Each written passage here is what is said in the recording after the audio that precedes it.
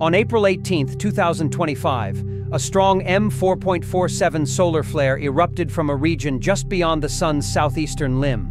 The flare was partially hidden from Earth's view, but still measured high on the X-ray scale.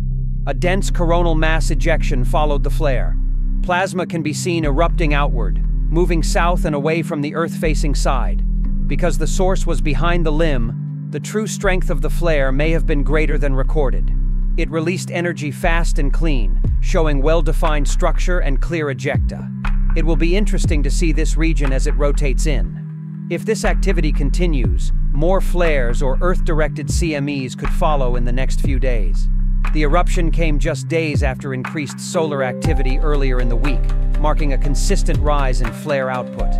The new region appears active, even before rotating into full view.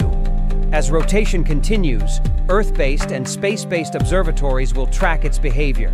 If the pattern holds, the region could produce more events as it moves into direct alignment with Earth.